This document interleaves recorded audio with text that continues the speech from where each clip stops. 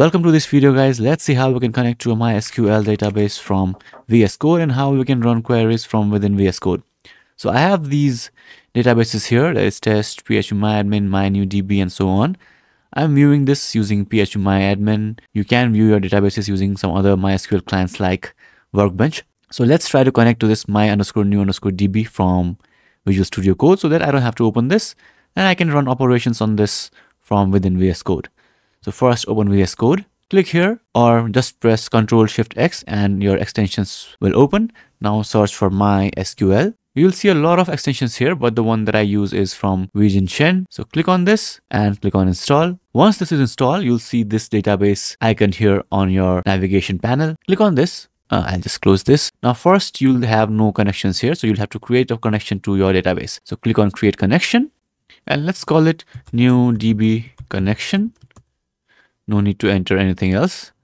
And now the host is this username is root and the port is 3306 so if you are confused which port you are running on you can contact your database administrator. If you are on XAMPP you can see the port here is 3306 so if you are on something else just enter that port here. Now what is my database name?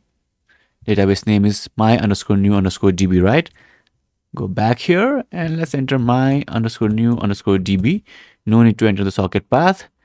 And if you have a password enter your password here but i am using XAMPP without any password so i don't want to enter password here. Now just click on connect. And as you can see it is saying connection success. Now you can close this and your new connection will be shown here. Now you can click on this and you'll see my new db here. Click on this and here you can see tables views functions and so on so let's say we want to see a table. So let's say, uh, let's check out the customers table, right? Here, as you can see, you have first name, last name, city, and so on. This is the customers table. And let's say you want to enter last name to this column. You can just right click here and enter, let's say Smith. Now click on this check button here. Here it is showing the error no primary key found. This change might affect more records than expected. Now this is not recommended because this is just a sample table, but I'll just click on OK.